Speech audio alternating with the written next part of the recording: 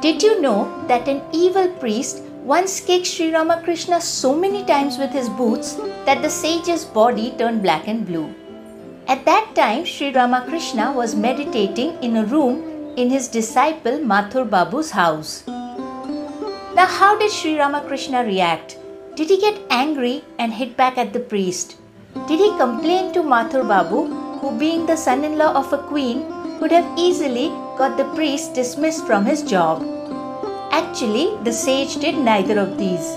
He instead forgave the man and did not even mention the incident to Mathur Babu.